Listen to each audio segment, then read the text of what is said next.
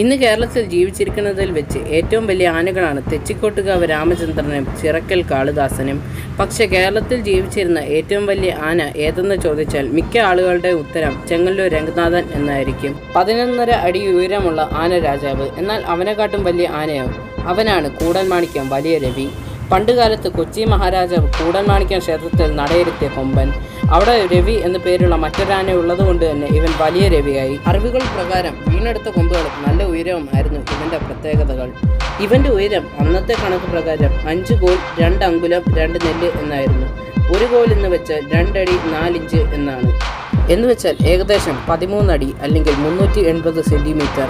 കൊമ്പിലേക്ക് കൈ എത്താത്തതിനാൽ കഴുത്തിലെ ചങ്ങല പിടിച്ചായിരുന്നു പാപ്പാന്മാർ ഇവനെ കൊണ്ടുപോയിരുന്നത്. ചെളി കണ്ടാൽ കവച്ചു വെച്ച് പോവുകയും വൃത്തിയുള്ള സ്ഥലത്ത് മാത്രം കിടന്നുറങ്ങുകയും ചെയ്യുന്നത് ഇവന്റെ ചില സ്വഭാവശീലങ്ങൾ. ആരെയും ഇവൻ ഉപദ്രവിച്ചിട്ടില്ല. എന്നാലും കുട്ടിക്കുറുമ്പുകൾ കാണിച്ച് അങ്ങനെയും ഓടുന്നത് ഒരു കൗതുകമായിരുന്നു.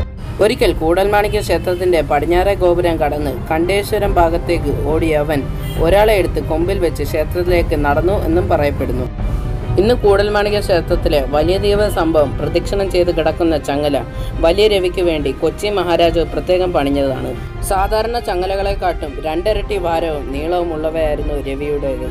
വലിയ ദൈവ സംഭവത്തിന്റെ രണ്ടാമത്തെ തട്ട് കുറച്ച് തെക്കോട്ടിരിക്കുന്നത് ഇവന്റെ കൊമ്പ് കൊണ്ടുള്ള തട്ടൽ കൊണ്ടാണ്. ഇരുന്നൂറ് വർഷങ്ങൾക്ക് മുമ്പ് ഈ ഗജരാജൻ ചരിഞ്ഞു.